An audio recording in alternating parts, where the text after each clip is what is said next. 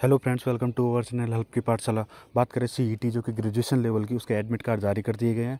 राजस्थान कर्मचारी चयन बोर्ड आयोग की ऑफिशियल वेबसाइट पे जो कि एडमिट कार्ड जारी कर दिए गए। बात करें कि एडमिट कार्ड कैसे डाउनलोड करें, कैसे चेक करें एडमिट कार्ड तो देखिए एडमिट कार्ड चेक करने के लिए आपको इसकी ऑफिशियल वेबसाइट राजस्थान की जो राजस्थान कर्मचारी चयन बोर्ड आयोग की है, Rajasthan staff selection board Jaipur, उसकी ऑफिशियल वेबसाइट पर जाने के बाद आपको जो न्यूज़ है, वहाँ पर आपको जाना होगा। जैसे ही आप यहाँ पर क्लिक करोगे तो यहाँ पर देखिए recruitment advertisement result news and notification और एडमिट कार्ड तो यहाँ पे आप एडमिट कार्ड पे जैसे ही क्लिक करोगे तो आपको एडमिट कार्ड का ऑप्शन खुल जाएगा।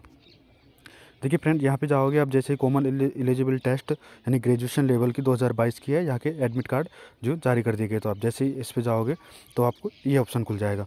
अब यहाँ पे देख रहे हो view application and get admit card यहाँ पे जैसे ही आप view application and get admit card get admit card पर जाओगे तो आप यहाँ से अपना एडमिट कार्ड डाउनलोड कर सकते हो। देखिए एडमिट कार्ड डाउनलोड करने के लिए आप जैसे गेट एडमिट कार्ड पर जाओगे तो ये पेज खुल जाएगा।